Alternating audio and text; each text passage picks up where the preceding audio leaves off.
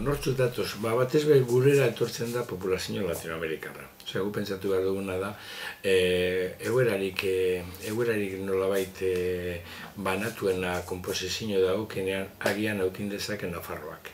Da, araban ba, batez be badagoz e, latinoamerikar eta magrebtar gehiago, e, Gipuzkoan badago latinoamerikar asko eta nolabait e, gin europear gehiago, eta e, Bizkaian ba, batez be Latinoamerikarra dira e, asko daudenak. Horrek zer esan nahi du?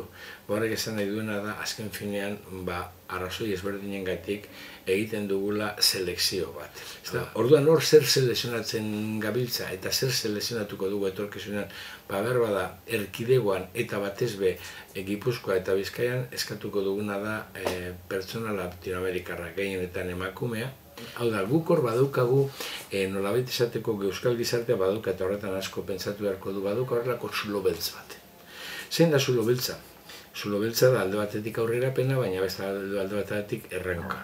Zulo beltza da, e, enbertako emakumearen inkorporazioak lan edo enplegu mundura, suposatu du lehenko familiaren tankera aldatu egin dela, eta lehen amak burutzen zituen eundaka lan baina lan konsideratzen ez zirenak enplegua ez zirelako, eh, ba, norbaitek egin behar ditu.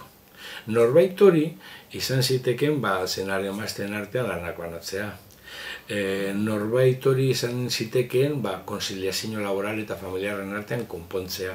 Baina badirudi bi bide hauetatik ez dela joan gorren konponketa.